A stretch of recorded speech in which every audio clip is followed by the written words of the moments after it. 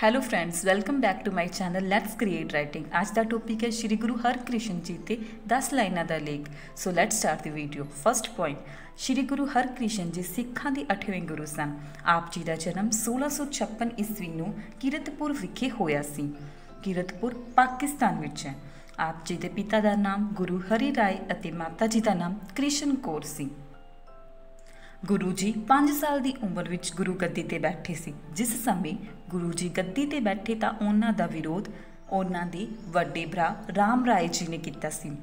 ਗੁਰੂ ਜੀ ਨੂੰ ਦਿੱਲੀ ਔਰੰਗਜ਼ੇਬ ਨੇ ਬੁਲਾਇਆ ਸੀ। ਗੁਰੂ ਹਰਕ੍ਰਿਸ਼ਨ ਜੀ ਬਾਲ ਗੁਰੂ ਦੇ ਨਾਮ ਤੋਂ ਵੀ ਜਾਣੇ ਜਾਂਦੇ ਸਨ। ਗੁਰੂ ਜੀ ਨੇ ਅਗਲੇ ਗੁਰੂ ਬਾਰੇ ਬਾਬਾ ਬਕਾਲਾ ਸ਼ਬਦ ਕਹੇ ਸਨ। ਗੁਰੂ ਜੀ 1664 ਈਸਵੀ ਨੂੰ ਜੋਤੀ ਜੋਤ ਸਮਾਏ ਸਨ। ਆਪ ਜੀ ਦਾ ਸੰਸਕਾਰ ਜਮਨਾ ਨਦੀ ਦੇ ਕਿਨਾਰੇ ਕੀਤਾ ਗਿਆ ਸੀ।